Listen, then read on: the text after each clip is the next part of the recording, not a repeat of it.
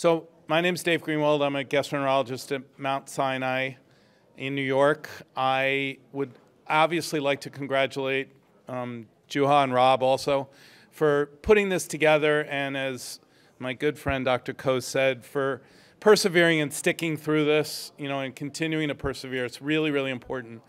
We had a great meeting here a couple years ago and the momentum, you know, carried forward. So it's great to see everybody again back in person. So I have the honor of um, co-chairing or co-moderating this last session. And the, the first speaker will be Dr. John Inadomi. So John is a well-known researcher um, and has done all sorts of work in cancer prevention. I mean, he has lots of insights for all of us. He was formerly at the University of Washington. He's now the chief of medicine at the University of Utah. And um, when uh, Dr. Koh mentioned that he knew the difference between the ACG and the AGA. That was a little dig at us because we um, were both fortunate to be president of those various societies last year. So I and the ACG, John the AGA, and we collaborated wonderfully, as of course we did, and we're here today as well. So my pleasure to introduce my good friend John Inadomi. He's going to talk to us about clinical practice guidelines, and both of us think that guidelines are really, really important in moving this agenda forward. So John? Dave, thanks so much.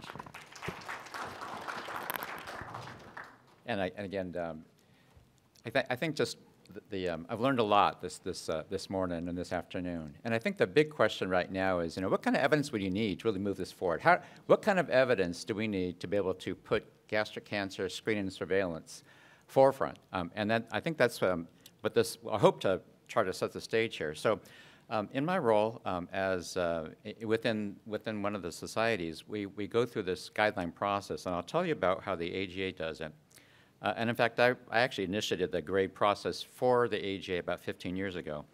And so um, the reason for it is because um, in the old days, you know, just basically it was usually three guys, literally three guys. You sit in the back corner and say, hey, make a guideline, right? And, and it was basically eminence-based types of uh, guidelines that were put out there.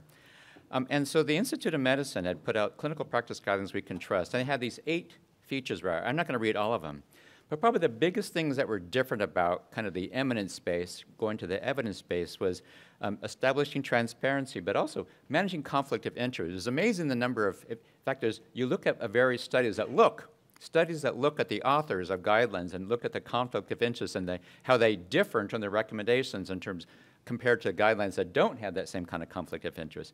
Generally, conflict of interest is with industry, but also it's with grants and other things. Um, and that influences that third point, which is the, develop, uh, the, the group composition. And we'll talk a little about these other parts too.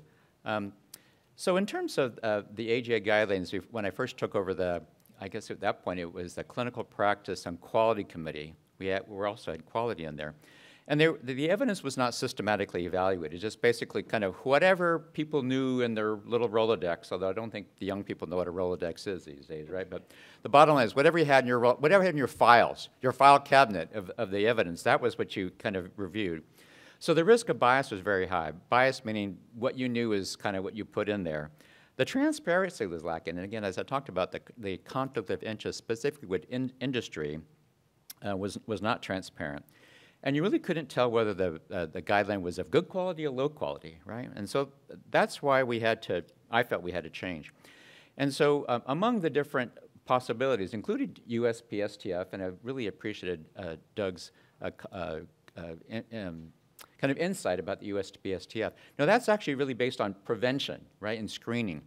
And so for us, the gastroenterology and hepatology, we had to devise some kind of framework that would account for not just screening and prevention, but also treatment management. So we chose a grade methodology, and it was, um, it's only been around 20 years, basically, but it was informal, and then it was more formally established in 2002. And GRADE, GRADE stands for Graded Recommendations, Assessment, Development, and Evaluation. Uh, and, uh, and, it basically has uh, two major parts, which is uh, rating the quality of evidence and then also the strength of the recommendations.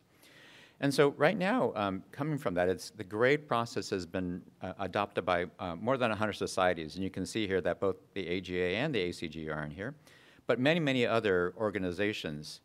And um, it has really uh, several, several areas. Um, and I think the, the, one of the big parts is identifying this actual scope of the guideline. And you use these thing called PICOs. And you hear about this when you know, PICO, PICO, PICO. Well, PICO stands for really, what is a question you're trying to answer with these guidelines? And there could be maybe three or four, right? But the PICO stands for the patient, which is that population of interest, the intervention, the comparator, um, and the outcomes, right? So those are the four. And the next is based on those questions, those PICOs, you go out and gather the evidence. The evidence should be in the form of systematic review, either an existing one, or if it doesn't exist, then you got to commission one or do one on yourself, right? You can't just, again, open up your files and decide that you can pick and choose what's out there. So a, rigorous systematic review is essential for the grade process.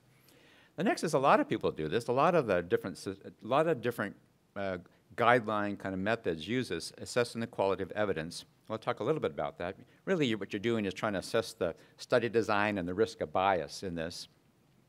But the difference in the grade process is that it looks at that particular PICO, that particular question, across studies, not by individual study.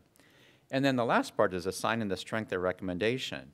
And the important part is that the evidence and the, is only one part of this, right? It's not just evidence, but also um, is there an understanding of what the patient preferences are regarding a particular, uh, in this case, screening, right?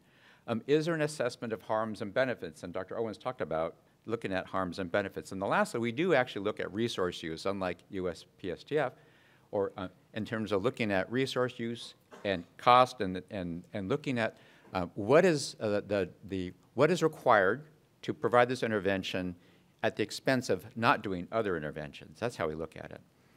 So um, what is uh, grade actually looks at the methodological limitations, and um, these are the risk of bias. Um, oh, I'm sorry, this is not concealed allocation, failure, blinding, incomplete reporting, losses to follow-up. Those are the kind of traditional parts of uh, limitations. Beyond that, we also look at inconsistency results. I really apologize for the, for the formatting. Indirectness as evidence, imprecision of results, and publication bias. So it's not only just the methodologic limitations, but how those methodologic limitations also affect the, um, the impact of those recommendations on kind of real world. So a little bit more details about this, right? So the certainty of evidence is what we're looking and, and, that's beyond study design because the definition of certainty evidence in this case is the extent to which our confidence in the estimate of the treatment effect is adequate to support a particular recommendation. Now, it's a lot of words, but basically it's like, how, how, how strongly do we believe what, we, what, what a recommendation will be? What kind of, what kind of data really do um, uh, provide the support for that recommendation? Is that are those data likely to change with additional information? That's what we're looking for, right? So when you look at the risk of bias, this is the traditional, traditional kinds of things. I'm not going to go a lot of details of, but you know, concealed allocation and, and, just, well, maybe I will do that. So blinding, of course, is when the, uh, whatever the observer is doesn't know what treatment, so there's no bias in terms of, oh, that person's getting that drug or not getting that drug, right? Concealed, concealed allocation is a person who is enrolling the patient also doesn't know because there is a risk of bias in who you're going to invite to be in the study if you actually know what the next thing uh, coming up. That's why it's really much better to have these um, these uh, things where there's a electronic version where you, as, uh, when you when you can enroll a patient and it pops up to you. I, I know, remember all of us uh, when you probably did studies as a as a fellow or a resident. You know, you'd have these little opaque envelopes, and everybody's like kind of looking to the light to see what is that? Are they getting a treatment or is it going to be a control arm? And you would do this stuff because it really does affect. If you know what the next arm is, it may affect who you're going to enroll in the study. Intention to treat is also very important because there's a lot of barriers to in terms of uh, getting to the actual therapy, and we can talk a little bit about the pros and cons of that. Follow-up and, and early stoppage is also part of the methodologic issues. But beyond that, you have to look at inconsistency results. And that's why we, we uh, in the grade process, we don't look at a single paper, a single study. We look at the same outcome across multiple studies. And this just illustrates the fact that sometimes a particular outcome may be positive in one study and it may be negative in another. And you have to take that into account when you're looking at the certainty of evidence. The other thing is the indirectness. You oftentimes don't get the right comparator, and this is really important. When you look at a PICO, you know, it's a patient, the, uh, the, the intervention, and the comparator, right? It's, it's really hard to get the same comparator, or even right patient population. So if you look at different studies, you'll have a lot of trouble making sure that the right comparator, you, and, and in, I was going to say in terms of like cancer studies, you know, is it the right stage uh, of cancer? Um, oftentimes, there, there, are different studies will, will have a varying stage in different populations. Um, oftentimes, the way that intervention is applied is different, right, across different studies. So the indirectness really points to the fact that are your studies that you're looking at, um, have, uh, are they similar in the patients, the intervention, the comparative, the outcomes, right? Those are the really important things. Um, and this is the same little, little diagram, but the imprecision of results, that's the confidence intervals. And this is just to illustrate that, yeah, across studies, you may not have, the, you may be consistent in terms of, yeah, everything shows benefit, but what is the confidence with which uh, we are able to say that particular outcome? Uh, and whether it is likely or unlikely that those, again, those results would change with additional information. And lastly, publication bias. We all know that positive results are more likely to get published. Um, and um, having just rotated off the, uh, our, our, um, our uh, gastroenterology journal, and I see Dr. Peek out there, uh, we do look at this a lot. And the problem is, is that it's really hard to get a negative study published, right? Because you just don't have that same kind of impact. I'm not going to say impact factor, the same kind of impact with a negative study, right? So there is publication bias. So this is important to look at. It's not just the methodologic issues that most kind of processes look at, but all these other issues beyond study design that impact the evidence, right? So in general, in general, um, randomized controlled trials are kind of the highest, or they start with the highest evidence, right? And then observational studies, like case control studies, would be rather low. And then we have a sign of equality of evidence from high to very low.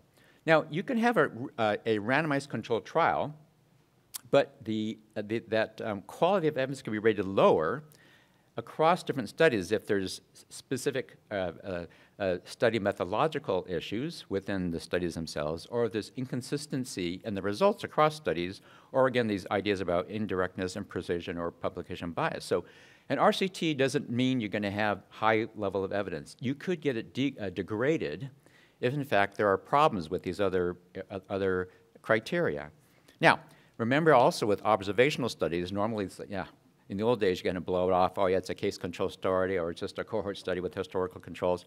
Now, you can, if, if um, you can raise the quality of evidence, let's say if the, if the effect size is really large, right? If you have an intervention and you have a relative risk of 0.5 and you get a 50% reduction in mortality, that's actually means something, right? Or a very large effect, let's say 0.2, which is an 80% reduction in whatever the outcome is, right? Also, if there's a dose response, you know, if you have some drug X and the higher dose, dose and another higher dose, and each of these doses you get a higher and higher effective benefit, that really does show mechanism, right? So part of the problem with some of these observational studies is that you don't have mechanism. You don't have a mechanistic understanding. But if you see a dose response, that supports a mechanism. The other thing we also look at is if you look at all the plausible confounders, like everything that could screw up a study and make something look good, right? If all the plausible confounding makes it actually kind of bias to the null or to, to no effect, um, and, and, and all this, and so then you know it's like, well, gosh, you know, this is as good a study as you can get, and every every kind of confounding we can have actually makes it look like it doesn't work, and yet it works. It's like, well, that actually makes it stronger. So the quality of evidence of that particular PICO may actually be increased. So again, I, like I said, it was the old system is look at individual studies, you rate them. This particular process, you look at different outcomes across multiple studies. Now, again, um, what I said, not only is the, the looking at the quality of the evidence based on those, those kinds of criteria, we also look at three other criteria, right? And that is the balance between benefits and harms. Now, the problem oftentimes is that in these studies, you don't actually have this balance, right? You have it's kind of subjective, but you do have a list of here's the harms, here's the, the, the, the benefits, right? And the, um, the harms may not simply be uh, like, uh, like serious medical events. Um, we do believe that harms include costs, because the fact that whenever you have a, a resource and, and, and, and money spent in one thing, it means that you have, you've lost the ability to invest in something else. And screening is especially important because generally when you put money into screening, you don't get that benefit for you know, decades or even eons. Eons? What is an eon? A long time later, right? So there's this problem with discounting, right? So you have an immediate investment, and by the time you get your benefit, your, your money is already discounted, right? So that's always a problem with any kind of screening uh, process. So you have to worry about those kinds of things too. We also have to look at the patient's values and preferences. That's why it's so nice to see patient advocates. And Aki, thanks so much for your comments because the patient's values and preferences. And oftentimes we get it wrong, you know, as physicians, as investigators. You know, we, we really don't understand what that value what their preferences are. And that's why the importance of, of involving community, involving patients and their, and their families and caregivers is so essential. And again, we talked about resource use. And based on, again, the quality of evidence and these three other factors, then you can come up with a recommendation. And strong versus conditional. The language we use for the AG is if the AGA recommends, that's a strong recommendation. If the AGA suggests, that's a conditional recommendation. What does that really mean? Um, well, get, I guess I'll, oh, sorry. I'll, I'll, talk about that in one second. Um, so the, the other thing we try to do to manage the conflict of interest is to have two separate kind of bodies.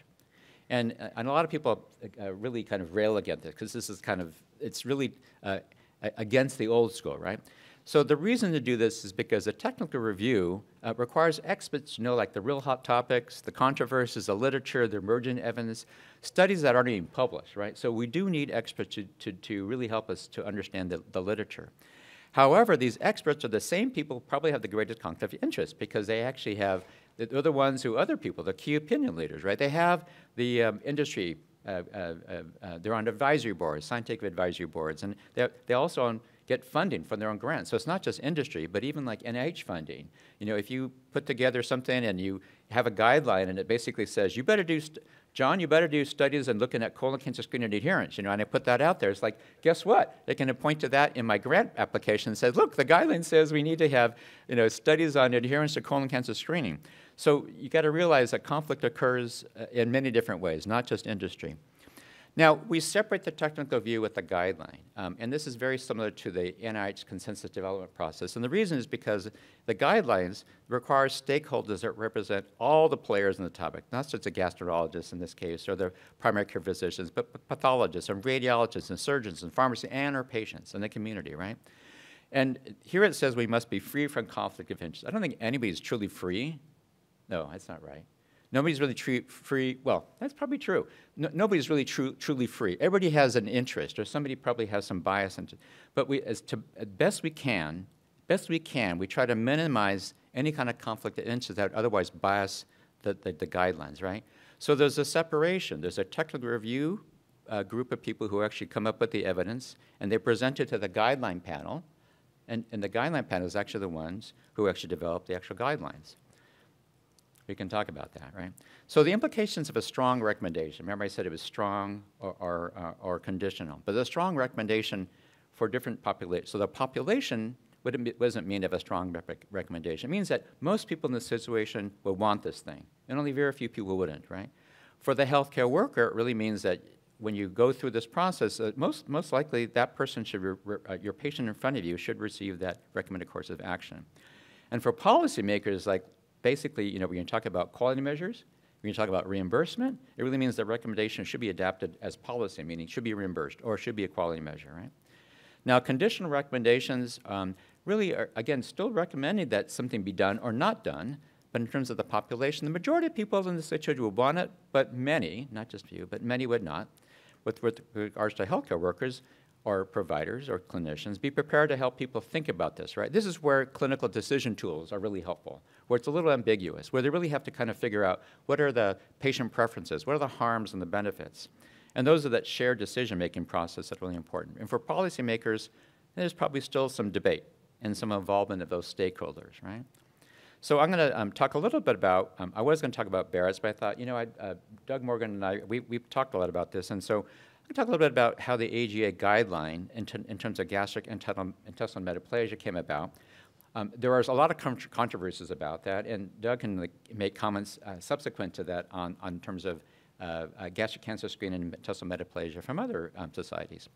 Um, this is a lot of stuff right here, but I'm just going to read out the fact that there were four, four questions. So it's very limited. It's not like, gosh, it's not the that's not the answer to life, the universe, and everything, right? It's these four things. And if you can read them here, it's among patients with gastric intestinal metaplasia, does testing for H. pylori and treating versus no testing affect patient important outcomes, right? So that's a major one. The next two are, are basically the same. One is among patients with gastric intestinal metaplasia who are at low risk, that's number two, or at high risk, that's number three, does subsequent upper endoscopy surveillance versus no follow-up uh, affect important outcomes? And then the last one is, among patients with gastric intestinal metaplasia without dysplasia, is that risk assessment endoscopy within a year, meaning it's not really surveillance, but regular risk assessment to determine the extent of GIM or those other kind of pathologic uh, parameters affect patient-important outcomes. And those patient-important outcomes were early cancer detection, cancer, morbidity, and mortality, endoscopy complications, costs, and psychological harms, right? And so I'm not going to go through the whole thing on the right thing, but basically those are all the systematic reviews that have to be done just to answer these four PICOs. Right? We can talk about those later, but just so the, the, um, this is the bottom line. And this is the part where we can have more discussion about it. But basically, in terms of that first question, in patients, with, patients who have gastric intestinal metaplasia, it's recommending, that recommends, so it's a strong uh, recommendation, testing for H. pylori followed by eradication over no testing and eradication. Again, this is not screening. This is among patients who have gastrointestinal metaplasia. And then in, in patients with gastrointestinal metaplasia, the AGA suggests, so again, it's a conditional, against routine use of endoscopic surveillance. And this is the part where we got all kinds of, and, and, true, this is the part we should probably talk about this, right? And why do they say this? Because when we look at the total population of the US, right, it doesn't make sense, really, probably, and I think people would agree, it doesn't make the entire sense to, to, to try to do surveillance in the entire population, but those people with intestinal metaplasia are higher risk of gastric cancer include those, and we can read them here, incomplete intestinal metaplasia, extensive metaplasia, family history of gastric cancer, and those people who are at overall risk for, GI, for gastric cancer beyond GIM, which includes certain, almost all racial and ethnic minorities or uh, immigrants from high endemic, in, high incidence or high endemic regions. That was very, that was conditional, and the evidence admittedly is very low. I'm going to kind of stop right here because the issue is that um, it's really important to understand that the absence of evidence doesn't mean it's not right or wrong, right? There's an absence of evidence. And I want to stress that, right? It's, I, I always view this as not, oh yeah, gosh, this is, the AJ got it wrong. It's just basically, here we are, we understand that this is the opportunity. These are the data that are needed to actually progress forward. And without these data, it's, it's hard to say what to do, right? So in this particular case, is we basically say, gosh, we shouldn't do surveillance in everybody, but in certain areas, that conversation with the patient may make sense to do surveillance, right? But the quality of evidence sucks, right? We just know this. And so this is an opportunity. This is an area where we should, really should ad ad advance our field by getting more evidence, right? The other part, part three, was that looking to do that, um, oh gosh, it was that, uh, that, that risk assessment endoscopy also uh, there was not any evidence. There really was no evidence that would, that support or not support this particular activity, right? So it was a conditional, but again, very low quality of evidence. The other part that really was supposed to be part of, of PICOs 2 and 3 really, really a surveillance interval. And, the, and again, there were insufficient data to guide that optimal surveillance interval. So you can read this stuff here. But the problem is, again, is that what, do we, what is the level of evidence? You know, in general, what we're talking about is a randomized controlled trial. Now, again, it takes 88,000 people, as Dr. talked about. I mean, it's a lot of people, a lot of stuff going on, right? But, uh, you know, these are the kinds of things that, um, that would bring to, uh, would really advance the field forward, right? To really do properly, uh, uh, properly powered randomized controlled trials to understand either screening or, in this case, surveillance. So, gosh, here are the limitations, and, and this is the, I'm going to maybe just, uh, this is my last couple of slides. So, um, clearly, you know, are we asking the right PICOs? Because um, I know Juha and I have, have um, I was to say discussions, arguments.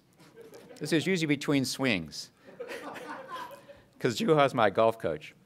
And I always know that, uh, that, that I'm, I'm, I'm I'm, I'm kind of ticking him off when he starts saying, okay, well, why don't you have these three or four swing thoughts in your head before your next shot? So I know I pissed him off at some point. But let's talk about this. You are probably aren't asking all the right picos, or rather, the problem is that the pico we want, the question we want to ask, there are not the right data to answer that question. And I think that's a major, that's where the conflict is, right? You know, here we want to say, look, we want to do uh, gastric cancer screening, right?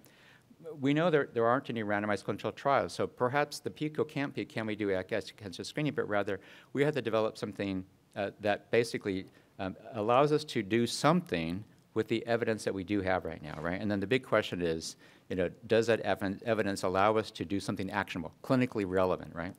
So in terms of this PICOs, um, one of the big things is can you extract data from other countries to the U.S.? This is, this is, this is, uh, this is something we should talk about, right?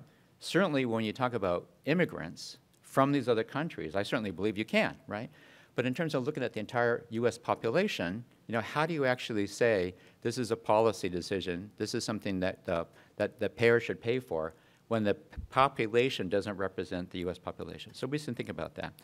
Interventions, we talked about, is, is the same intervention across all studies? Usually not. Usually there's something different.